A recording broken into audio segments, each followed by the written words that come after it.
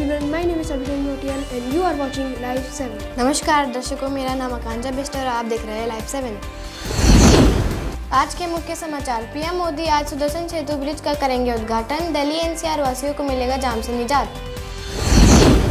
Dubai ने भारतीय पर्यटकों के लिए पाँच साल का बहुप्रवेश वीज़ा किया। लॉन्च एक बार किया जा सकता है एक्सटेंड। रक्षा निजात पचास हज़ार करोड़ रुपए तक पहुँचने की उम्मीद। राजनाथ सिंह बोले, तीनों सेनाएँ मिलकर करेंगी चुनौतियों का मुकाबला। दिल्ली, यूपी और बिहार में आज से फिर बदलेगा मौसम। मैदानी क्षेत्रों में बारिश तो पहाड़ों पर बर्फबारी का आसार।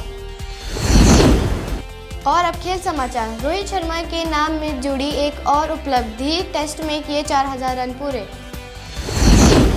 Today's world news are PM Modi dedicates 5M inauguration multiple development project from Rajkot. Karnataka skier from 900 meter altitude village wins 3 gold on 4000 meter high slopes of Gulmarg. Vice President Jagpreet Dhankar will be on a one-day tour of Mizoram today. He will address the 9th Mizoram Legislative Assembly. Election in Pakistan for president is set to take place March 9, 2024 source. That's all for today. ज़्यादा खबरों के लिए देखते रहिए live seven